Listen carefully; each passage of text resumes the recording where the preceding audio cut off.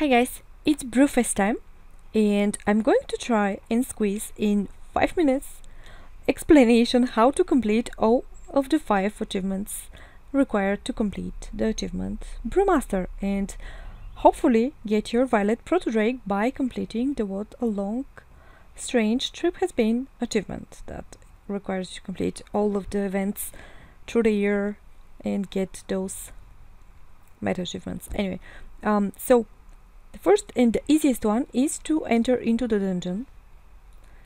You enter into the right finder, you enter the dungeon, you kill the boss, and you complete the achievement Direbrewfest. The second achievement that is pretty easy to complete, you just need to do any of the events, is have a keg, will travel. You need to get two prize tokens, which you can get from everywhere, even from the dungeon you get, and you need to buy this fresh Brewfest Hope. When you're mounted, you use it, and your mount turn into a Brewfest mount, unless you dropped the mount on your first try, which is pretty cool. Yeah, there is a mount. Uh, when you get it, you get the achievement Have a, have a keg, will travel.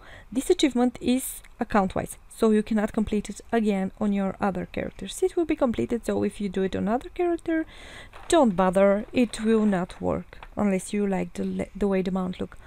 The next achievement is Brewer of the Month. You need to buy for 200 prize tokens, which will be quite difficult to get. Will take at least you will take you at least few days, and you need to buy a Brew of the Month Club membership form.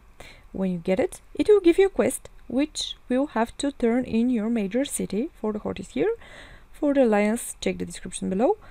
But you will get a question mark, so whatever. Um, the next thing you need to buy is this Wolpertinger's pet and when you buy it for the European ser European servers you will complete that's your water whopper finger linger when you buy it, you'll complete this. For the US servers, you will get a quest. Check the description below. And you will complete the quest and capture a few bunnies. And you will get the bunny for free. Yeah, lucky you. And the last one, you need to be level 65. It is the Brewfest diet. Why you need to be level 65? Well, the food requires you to. So when you enter the door, you go right and you speak to Brom. When you speak to him, you need to buy the second, third, and the fourth road of the of the food of the sausages.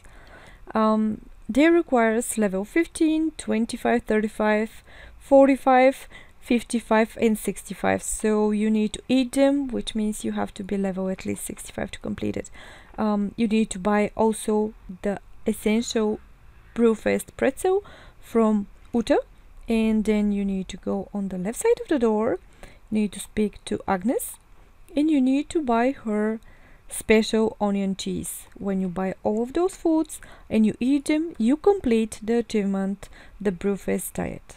You can get a beer and enjoy the event because you already have the Brewmaster title. So that's how you complete it. I hope this video was helpful. Thank you so much for watching guys. If it was, make sure you let me know by liking, comment and subscribe if you haven't. It will really help me. Have a lovely day, enjoy the event, and see you next time. Bye bye.